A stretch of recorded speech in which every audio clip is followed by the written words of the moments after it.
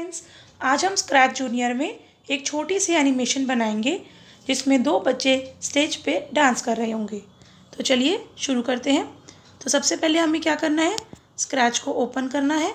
सो मैंने scratch junior app को open करा। ओपन करके आपको उसमें होम का बटन प्रेस करना है। जस्ट अ वेट आ गई।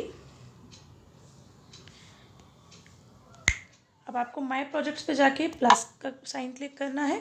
एक नया प्रोजेक्ट खुल के आ जाएगा। अब हम बैकग्राउंड लेंगे, क्योंकि मुझे डांस पार्टी करनी है स्टेज पे तो मैं ये थिएटर वाला बैकग्राउंड ले लेती हूँ।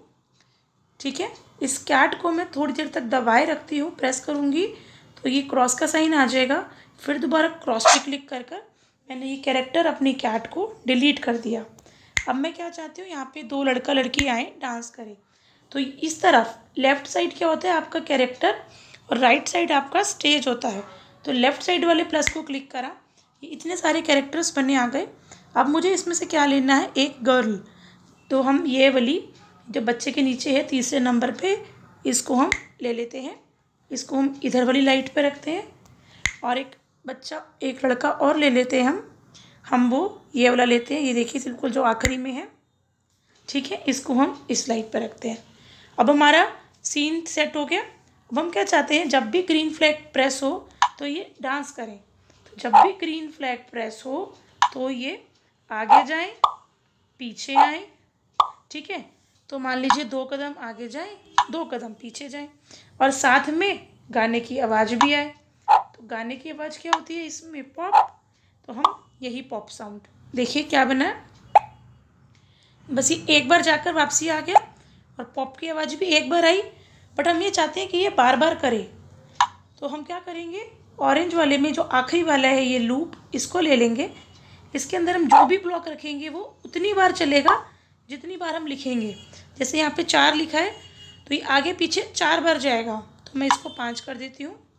अब ये पाँच बार आगे पीछे जाएगा लड़का। सिमिलरली मैं पॉप साउंड को भी पाँच कर देती हूँ। अब ग्रीन फ्लैग प्रेस करते हैं। एक मिनट, हमारा यहाँ से ग्रीन फ्लैग से हट गया। अब हमने ग्रीन फ्लैग प्रेस करा।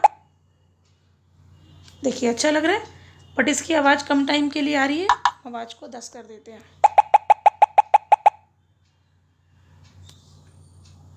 अभी भी कम है तो हम इस लूप को चार कर देते हैं। अब दोबारा चलाते हैं। इसको साउंड को हम पंद्रह कर देते हैं। ठीक है?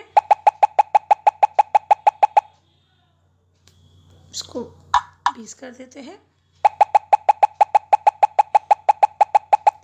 अब जैसे ये लड़का नाच रहा है, हम चाहते हैं लड़की भी ऐसी नाचे। तो इसी सेम इन दोनों ब्लॉक्स को जो नीचे हमारा स्क्रिप्ट हमने बनाई है, इसको ड्रैग ड्रॉप करके लड़की के ऊपर रखेंगे तो ऐसा हो जाएगा। देखिए, मैंने इसको लिया, लड़की के ऊपर ले गई, इसको भी लिया और लड़की के ऊपर ले गई। अब देखिए, लड़की पे क्लिक करा तो उसके भी स्क्रिप्टिंग एरिया पे ये स्क्रिप्ट आ गई। अब हम इसको चला कर देखते हैं। फुल स्क्रीन करते हैं, पहले वाले बटन से। ग्रीन फ्लैग दबाते हैं। देखिए, इसकी हैंड मूवमेंट भी हो रही है। ठीक है? आशा करती हूँ आपको ये छोटा सा प्रोजेक्ट बहुत अच्छा लगा होगा। इसको सेव करने के लिए आप कॉर्नर में जाइए। यहाँ पर आप इसका नाम दे दीजिए डांस पार्टी नीचे मैं आपको डिस्क्रिप्शन में और भी ऐसे छोटे छोटे और बेहतरीन बढ़िया प्रोजेक्ट्स की वीडियोस का लिंक दूँगी। आप इसके ऊपर लिखना चाहते हैं तो आप एबीसी को क्लिक करिए। यहाँ पर आप लिख दीजिए डांस पार्टी ठीक है, इसको थोड़ा सा हम नीचे ले आते हैं।